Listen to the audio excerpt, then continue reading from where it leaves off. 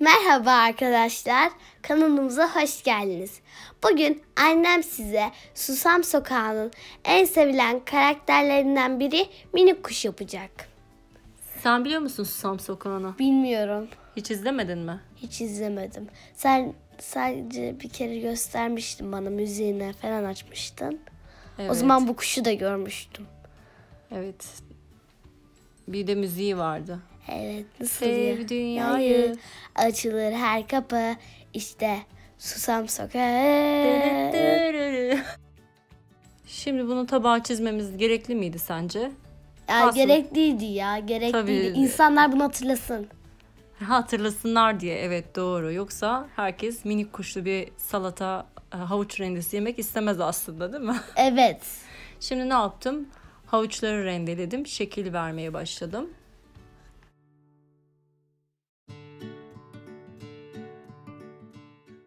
Şimdi gövdesini şekillendirdikten sonra bacaklarını yapıyorum. Aslında yapması çok kolay değil mi? Evet çok kolay. Hani bunu Herkes çocuklar da sever. Evet herkes yapabilir zaten. Büyükler hem anılarını artık hatırlar. Çocuklara anlatır bunu çok sevdiklerini. Minik kuş çok güzel zaten. Evet çok minik. Bütün minik kuşlara gelsin bu.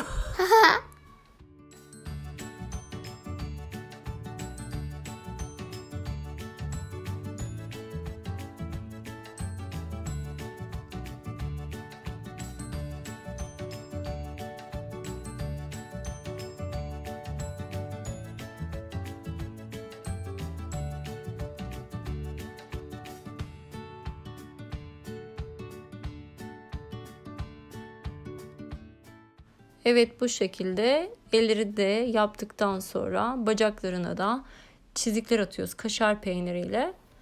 Çünkü onun da çizgili bir pijaması vardı galiba. Yani evet vardı. Evet. Sonra gözlerini de tamamlıyorum. Yine aynı şekilde kaşar peyniriyle ve zeytin ezmesiyle de göz bebeklerini, kaşlarını yapıyorum. Sonrasında bitmiş oluyor. Size iyi seyirler. Annemin kanalına abone olmayı unutmayın. Bir de bu videoyu paylaşın. Bir sonraki videoda görüşmek üzere. Hoşçakalın.